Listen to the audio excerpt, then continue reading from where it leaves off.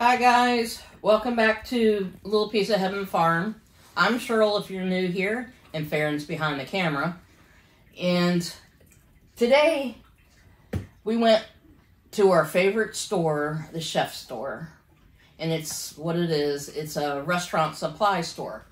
And we bought a bunch of stuff. As you can see, we bought our meats for the next three three to six months.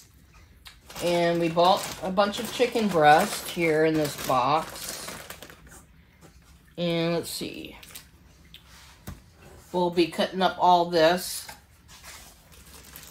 We got a big pack of tortillas, popcorn, dishwashing liquid, big jug of salsa, peanut butter, some garlic powder, course, Farron's chocolate, stuff for his chocolate milk, Parmesan cheese, and a five pound bag of noodles, and some napkins. But, and we also got um, a 35 pound jug of canola oil. And it was cheaper to buy it this way than buy it in the little bottles. So this is going to last us probably a year. And we got a case of uh, broccoli that we could not refuse. It was $20 for the whole case. And look, these are some big, enormous heads.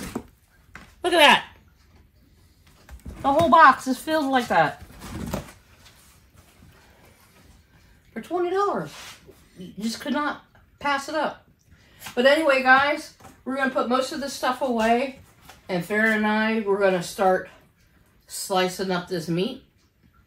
And we'll put it in packages and we'll bring you back to show you what we got out of this. So let me give you a rundown of what we got on meat-wise. We got some tri-tip here. And this is pretty heavy. I think it's a little over 20 pounds of tri-tip. We got some prime rib here, and we got a pork tenderloin that we're going to make boneless pork chops with, and maybe a roast. And then we got 20 pounds of chicken breast. So we'll be bagging all that up.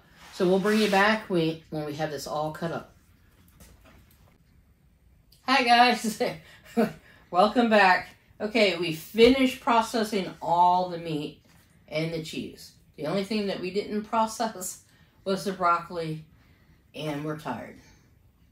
So anyway, this is the rundown.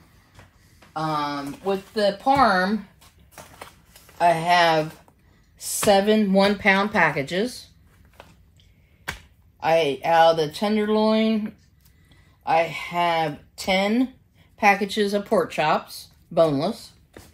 The ribeye, I have 10 of those plus one extra. So when I'm working late, I'm going to have a steak. The tri-tip, that was the most awesome buy. For $116, that big slab of meat, we got three packages of stew meat, three roasts, and 10 packages of steaks. That's 16 meals. It averages over just a little bit over a dollar a meal. Then we have our chicken, which we got 11 packages of it out of those four.